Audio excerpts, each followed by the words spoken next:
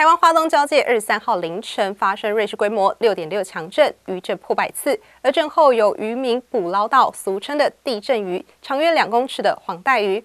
花莲石社海鲜餐厅业者购回其中一部分，以烟熏手法料理后端上餐桌，让上门的顾客有机会品尝到深海罕见的鱼类。陈老板说，这尾地震鱼长约两公尺左右。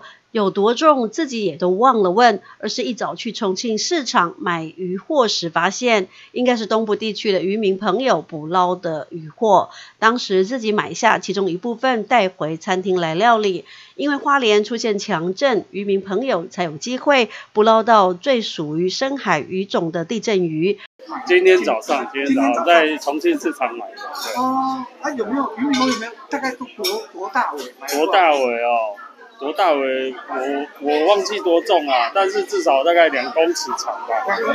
它就胶质比较重，像果冻一样这样。上门的顾客也实在有口福，有机会品尝到罕见的地震鱼。张小姐说，地震鱼的肉质吃起来有点像烘鱼，但肉更加的鲜甜。碰到地震之后，它游到浅海的海域，那因为它在深海比较早会感受到那个波动哈，所以呢，它就会移动它的这个位置。所以呢，是不是我在想说，之后可能当有听到有人捕获地震鱼的时候，也许我们就可以提高警觉一些。这是我今天也吃到地震鱼的一个收获吧。但是地震来真的令人担心受怕，尤其这一次的余震不断，整晚。花莲人都没办法入睡，所以宁愿吃不到地震鱼，也不要有地震发生。记者林杰华联市采访报道。